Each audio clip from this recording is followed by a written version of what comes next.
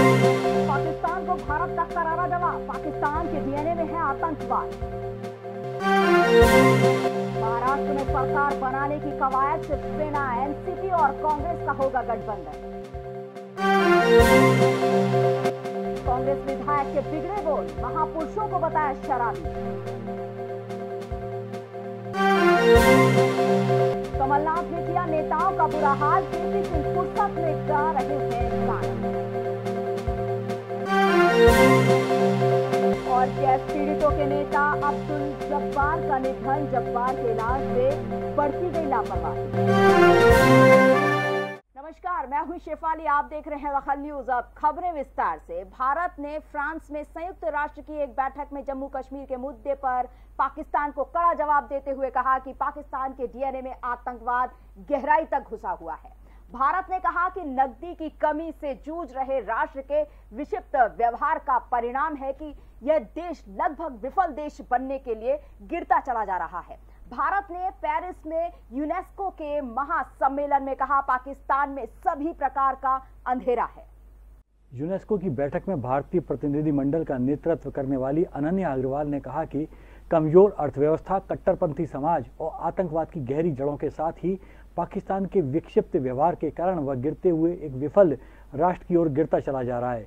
उन्होंने कहा कि पाकिस्तान में चरमपंथी विचारधाराओं और कट्टरपंथी शक्तियों की, आतंकवाद की सबसे गहरी अभिव्यक्तियों सहित हर तरह का अंधेरा वहाँ मौजूद है। उन्होंने कहा कि यूनेस्को के मंच का दुरुपयोग भारत के खिलाफ जहर उगलने और उसका राजनीतिकरण करने के लिए हम पाकिस्तान की निंदा करते हैं। अनन्या अग्रवाल ने कहा कि साल 2018 में विफल होने वाले देशों की संभावित सूची में पाकिस्तान चौदहवें नंबर पर था। सितंबर में संयुक्त राष्ट्र महासभा सत्र में प्रधानमंत्री इमरान खान की टिप्पणी का ज़िक्र करते हुए उन्होंने कहा कि पाकिस्तान एक ऐसा देश है जिसका नेता संयुक्त राष्ट्र के मंच का इस्तेमाल खुलेआम परमाणु युद्ध का प्रचार करने और अन्य राष्ट्रों के खिलाफ हथियार रखने के लिए करता है The gender based crimes against women, including honor killings, acid attacks, forced conversions, forced marriages, and child marriages, remain a severe problem in Pakistan today. Mr. President, it is a country whose leadership uses a UN platform to openly preach nuclear war and issue call to arms against other nations. Would this gathering believe if I told them that one of Pakistan's former presidents, General Musharraf, recently called terrorists such as Osama bin Laden and the Haqqani network as Pakistan's heroes? Maharashtra में गठबंधन सरकार बनाने को लेकर एक बार फिर कवायद तेज हो गई है। शिवसेना, राष्ट्रीय कांग्रेस पार्टी और कांग्रेस मिलकर सरकार बनाने की कोशिश कर रही हैं। इसके लिए तीनों दलों के बीच न्यूनतम साझा कार्यक्रम को लेकर ड्राफ्ट भी तैयार किया जा चुका है। तीनों दलों के वरिष्ठ नेताओं के बीच इसे लेकर बैठक की गई, जिसमें इससे जुड़े मुद्दों पर चर्चा हुई है। महाराष्ट्र में सरकार बनाने को लेकर तीनों दलों के नेताओं की बैठक के बाद शिवसेना के वरिष्ठ नेता एकनाथ शिंदे ने कहा कि बैठक के दौरान न्यूनतम साझा कार्यक्रम पर चर्चा हुई। इसके बाद एक ड्राफ्ट तैयार कर लिया गया है। यह ड्राफ्ट तीनों पार्टियों के हाईकमान को भेजा जाएगा। इसे लेकर अंतिम निर्णय हाईकमान द्वारा ही तय किया जाएगा। एनसीपी अध्यक्ष शरद पवार ने कहा कि सरकार बनाने की प्रक्रिया शुरू हो चुकी है। राज्य में सरकार पूरे पाँच साल चलेगी। एनसीपी नेता नवाब मलिक ने कहा कि राज्य में मुख्यमंत्री शिवसेना का ही रहेगा। मध्य प्रदेश के मुख्यमंत्री कमलनाथ ने बिरसा मुंडा को श्रद्धांजलि देते हुए कहा, बिरसा मुंडा संघर्ष, त्याग और कुर्बानी की मिसाल है। अल्प आयु में ही उन्होंने समाज को नई दिशा दी है। बिरसा मुंडा जयंती पर मध्य प्रदेश कांग्रेस मुख्यालय में आयोजित कार्यक्रम में मुख्यमंत्री कमलनाथ और जनसंपर्क मंत्री पीसी शर्मा शामिल हुए। सभी नेताओं ने बिरसा मुंडा को श्रद्धांजलि दी और पुष्प अर्पित कर नमन किया। इस अवसर पर मुख्यमंत्री कमलनाथ ने कहा कि बिरसा मुंडा ने छोटी आयु से ही बड़ा काम किया। उनके योगदान को भुलाया नहीं जा सकता। बिरसा मुंडा संघर्ष, त्याग और कुर्बानी की मिसाल थे। संघर्ष, कुर्बानी और त्याग के प्रतीक थे। बड़ी कम उम्र में उन्होंने समाज में और अपने देश की आज़ादी के लिए उनका योगदान रहा। 25 साल की उम्र में वे शांत हो गए। ये एक पहला उदाहरण है कि इतने छोटे जीवन में एक ऐसे व्यक्ति जिन्होंने समाज को एक नई दिशा दी। पूर्व मंत्री नरोत्तम मिश्रा ने कमलनाथ सरकार पर जमकर निशाना साधा और कहा, कमलनाथ सरकार अपने वचन पत्र में दिए वचन पूरा करने के बजाय प्रवचन दे रही है। सरकार ने अपने कोई भी वचन नहीं निभाए हैं। दस महीने हो गए, सरकार सिर्फ़ जाँच कर रही है। पूर्व मंत्री नरोत्तम मिश्रा ने कमलनाथ सरकार पर हमला करते हुए कहा कि कमलनाथ सरकार ने वचन पूरे नहीं किया है। साल भर सिर्फ़ प्रवचन दिया है। वचन पत्र में कहा गया था कि किसान कर्ज माफ़ी की जाएगी, लेकिन वादा आज तक पूरा नहीं हुआ। एक भी किसान का कर्ज माफ़ नहीं हुआ। नौजवानों को भत्ता देने का वादा किया गया था, लेकिन जमीनी हकीकत कुछ और है। किसानों को बोनस नहीं दिया, किसानों को बाढ़ से हुई तबाही का पैसा नहीं दिया गया। नरोत्तम मिश्रा ने कहा कि वचन में कहा था कि बेटियों को स्कूटी देंगे, लेकिन अभी तक नहीं दी गई। बच्चों को मिलने वाली योजनाएँ बंद कर दी गई। कुल मिलाकर प्रदेश की स्थिति बहुत खराब है।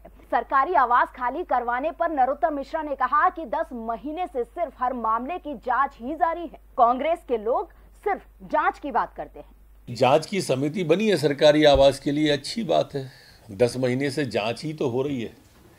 खोदा पहाड़ निकली चुईया लेकिन इस बार तो दस महीने में चुईया भी नहीं निकली है। दस दस महीने में चुईया भी नहीं निकली है। और फिर जाँच जाँच पे जाँच जाँच पे जाँच जाँच पे जाँच। मुझे मालूम है कि जाँच के क्या परिणाम आने वाले सरकार उनकी है। जाँच में जो भी आए, वो कार्रवाई होनी चाहिए। हम भी सहमत। सामाजिक और राजनीतिक दबाव के बाद एमपी की कांग्रेस सरकार को अंडे का फंडा समझ में आ गया। महिला बाल विकास मंत्री मरती देवी ने अंडे को अनिवार्य करने से मना कर दिया है और कहा, जो चाहेगा उसे अंडा मिलेगा और जो नहीं चाहेगा, उसे फल दिया जाएगा।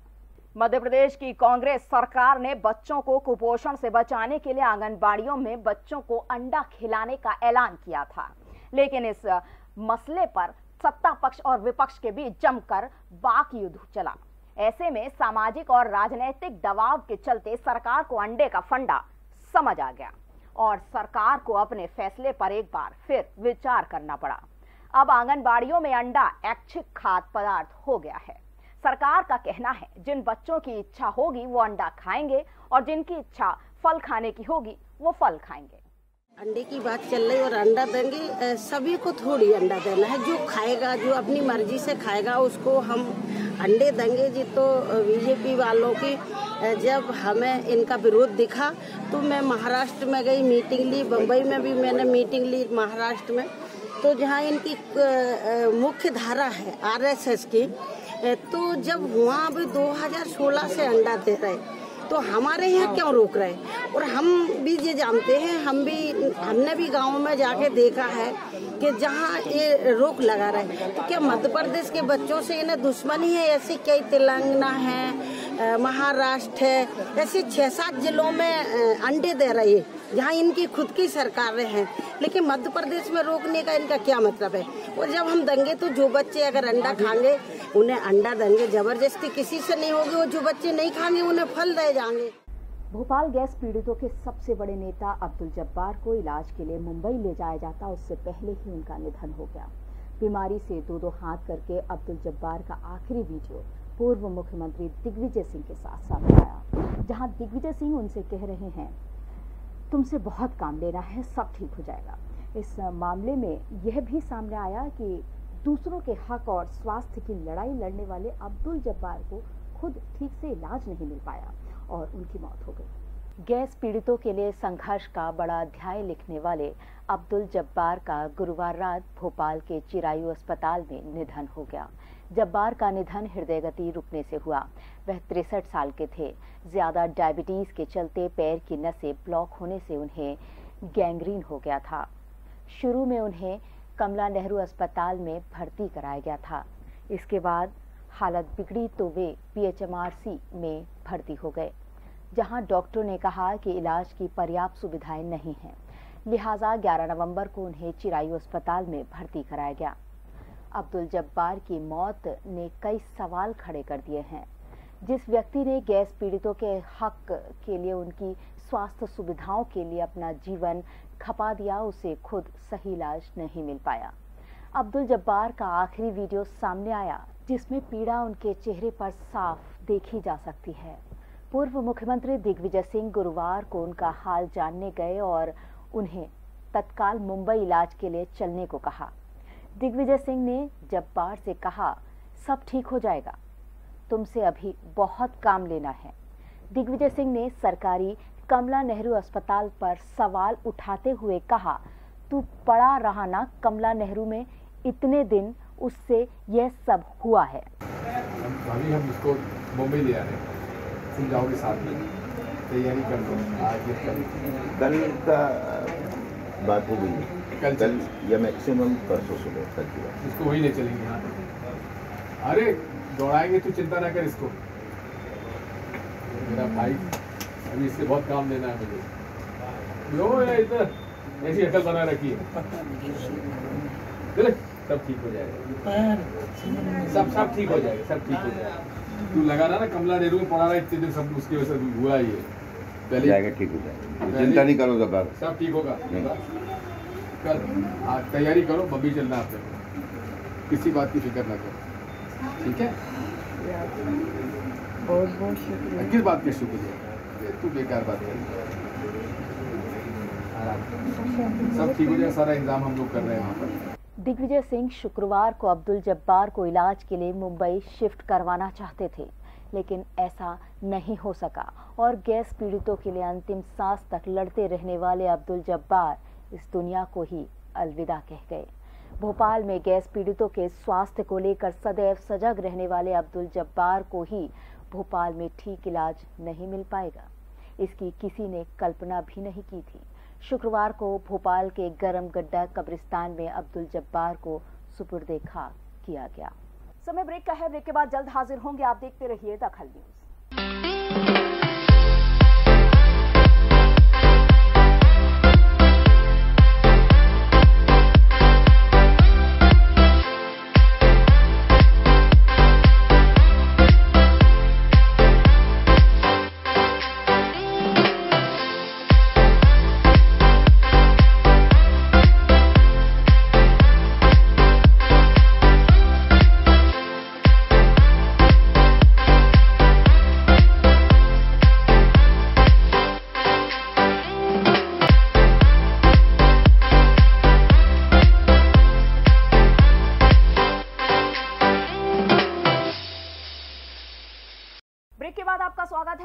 सबलगढ़ के कांग्रेस विधायक का ज्ञान उन्हीं के गले पड़ गया।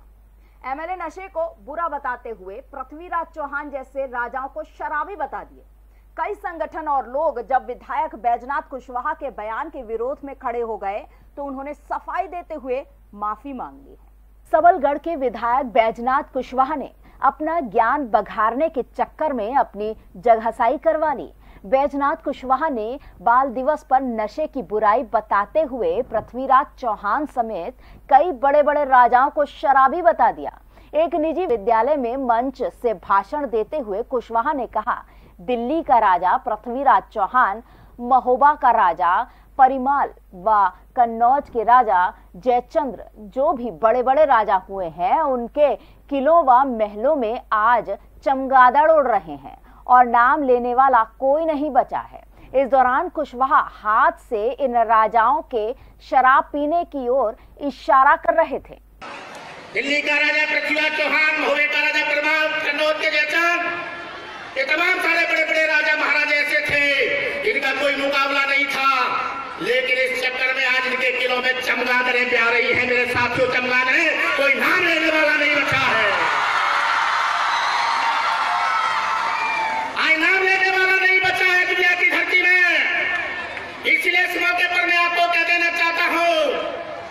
तुम्हारी जो सबसे बड़ी संपत्ति है, अगर इसे सुरक्षित रखना चाहते हो तो कभी इनके सामने दारू भाग मत पीना मेरे भाइयों, में आपसे कह देना चाहता हूँ।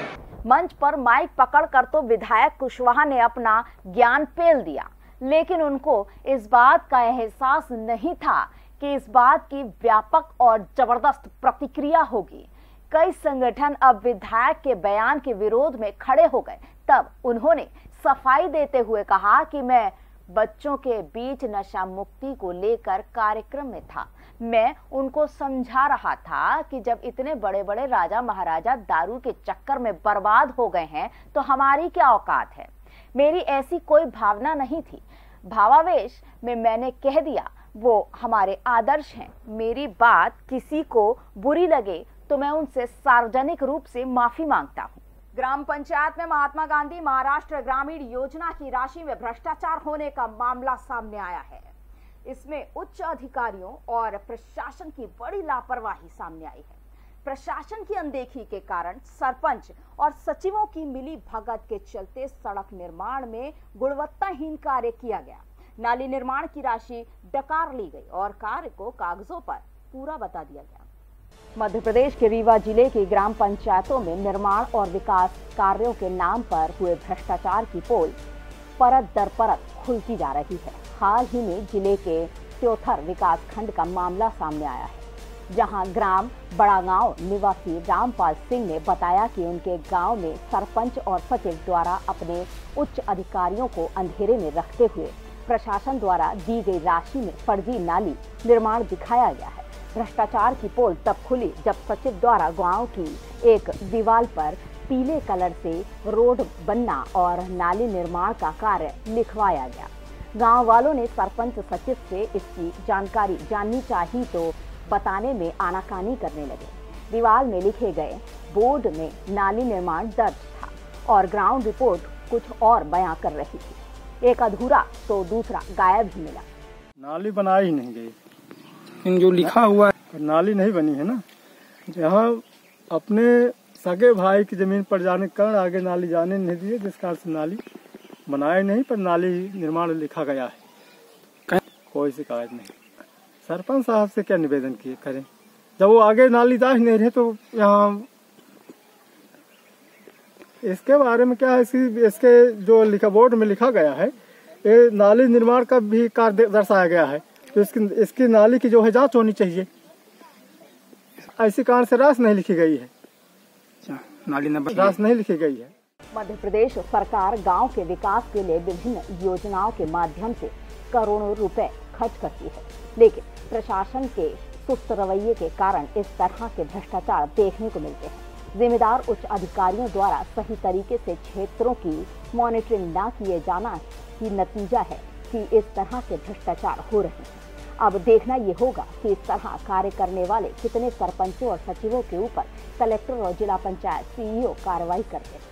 बनखेड़ी नया गाँव जंगल क्षेत्र में चर्चित महुआ पेड़ के पास जाने पर प्रतिबंध लगा दिया गया है। प्रशासन ने पुलिस पर हुए पथराव और मारपीट की घटना के बाद यहाँ धारा 144 लगा दी। अब श्रद्धालु इस पेड़ के पास नहीं जा सकेंगे। होशंगाबाद के बनखेड़ी नया गाँव जंगल क्षेत्र में महुआ के पेड़ के पास जाने पर अब प्रतिबंध है। अंधविश्वास के चलते बड़ी संख्या में लोग इस प्रतिबंधित जंगल क्षेत्र में पहुँच रहे थे। पुलिस और प्रशासन द्वारा रोके जाने पर श्रद्धालुओं और ग्रामीणों द्वारा पुलिस पर हमला और पथराव किया गया, जिसमें थाना प्रभारी सहित कई पुलिस वाले बुरी तरह जख्मी हो गए। पिपरिया एसडीएम के आदेश के बाद महुआ पेड़ वाले जंगल क्षेत्र में धारा 144 लागू कर दी गई है। गौरतलब है कि कुछ शरारती तत्वों द्वारा ये अफवाह फैला दी गई थी कि महुआ का पेड़ छूने और दर्शन करने से सभी रोग ठीक हो जाते हैं, जिसके बाद बड़ी संख्या में लोग उस जंगल में पहुँचना शुरू हो गए थे। प्रशासन के द्वारा सतपुड़ा टाइगर रिज़र्व जंगल में जाने पर भी पूर्णतः प्रतिबंध लगा दिया गया है। चैन स्नैचिंग की घटनाओं को अंजाम देने वाले दो युवकों को रीवा पुलिस ने धर दो बोचा। सीसीटीवी फुटेज के आधार पर पुलिस ने दो संदिग्धों से जब कड़ाई से पूछताछ की तो इन लुटेरों ने चैन स्नैचिंग की 11 घटनाओं का खुलासा किया। रीवा में पुलिस ने दो चैन स्नेचरों को गिरफ़्तार किया है। बताया जा रहा है कि पिछले दो महीनों से हो रही चैन स्नेचिंग की घटनाएँ पुलिस के लिए सिरदर्द बन गई थी। यहाँ आए दिन चैन स्नेचिंग हो रही थी। इन घटनाओं से पुलिस प्रशासन पर सवाल या निशान लगना शुरू हो गए थे। दिन दहाड़े महिलाओं के गले से चैन लूटी जा रही थी और इन लुटेरों के हौसले हर दिन बुलंद होते जा रहे थे, जिसके बाद हरकत में आई पुलिस ने दो संदिग्ध को सीसीटीवी फुटेज के आधार पर दबोचा। पुलिस अधीक्षक आबिद खान ने करीब दर्जन भर लूट और चैन स्नेचिंग की वारदातों का खुलासा करते हुए बताया कि चैन स्नेचर दूसरे जिलों से चैन स्नेचिंग की घटनाओं को अंजाम देने रीवा आते थे और घटना के बाद गायब हो जाते थे। ये दो जो लोग पकड़ाए गए हैं, इनका नाम, एक का नाम है दीपक सोनी। ये रघुराज नगर सतना का रहने वाला है और दूसरा का नाम है शक्ति कुमार गुप्ता। ये जो है, ये भी रघुराज नगर सतना का रहने वाला है। ये दोनों लोग सतना से यहाँ अप डाउन किया करते थे और यही काम किया करते थे कि इनको आना है, एक चेन स्नैचिंग करना है और चले जाना है। इनसे डिटेल जब पूछताछ की गई तो कुल मिला के इनमें 11 चेन स्नैचिंग 12 चेन स्नैचिंग की वारदात इन्होंने कबूली है, जिसमें से 11 रीवा ज़िले की हैं और एक सतना ज़िले की है।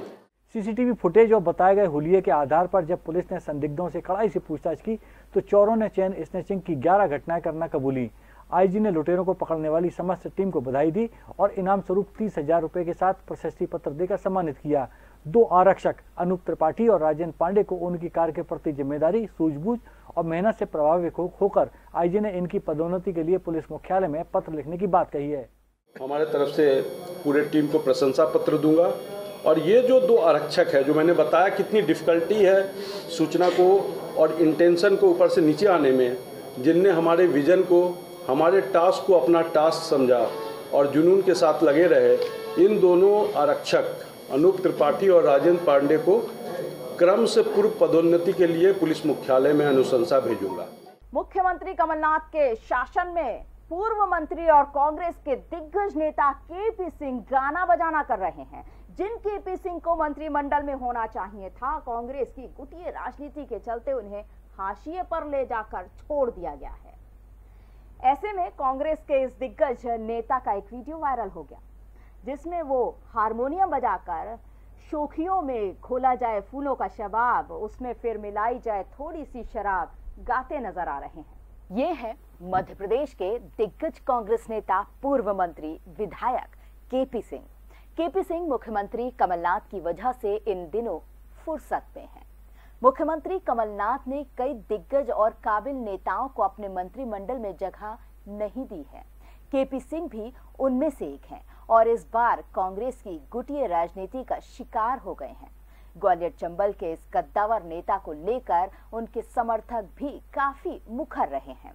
फुर्सत के इस दौर में केपी सिंह का एक और पक्ष सामने आ रहा है, वो है उनका संगीत प्रेमी होना। संगीत प्रेम को लेकर केपी सिंह का एक वीडियो वायरल हो रहा है, जिसमें केपी सिंह हारमोनियम बजाकर सत्तर के दशक का गीत, शोखियों में घोला जाए फूलों का शबाब, उस पे फिर मिलाई जाए थोड़ी सी शराब गाते दिख रहे हैं।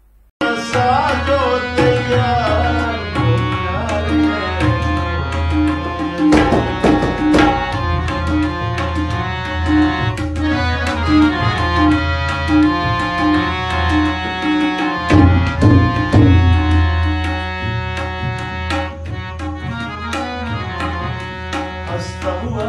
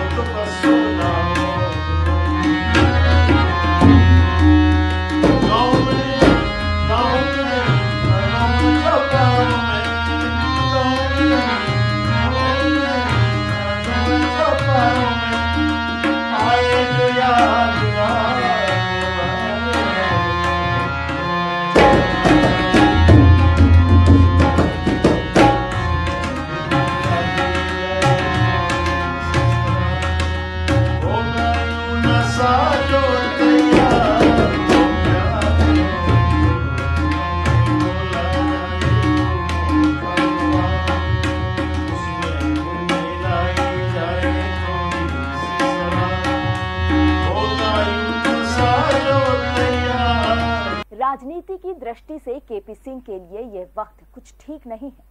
ऐसी विषम परिस्थिति में उन्होंने शांत रहना मुनासिब समझा और वो लगातार अपने इलाके की जनता के साथ उनके सुख दुख के साथी बने हुए हैं। कांग्रेस ने उन्हें भले ही मंत्री बनाना उचित नहीं समझा हो, लेकिन उनके इलाके में उनका रुतबा और छवि किसी मंत्री से कम नहीं है। इस वीडियो के सामने आने के बाद कुछ लोगों की टीका टिप्पणी भी शुरू हो गई है। लोगों का यह भी कहना है कि कमलनाथ ने कुछ बड़े नेताओं को गाना बजाना करने की स्थिति में ला दिया है। इस बुलेटिन में फ़िलहाल इतना ही। आप देखते रहिए दखल न्यूज़। दखल आपके हक में।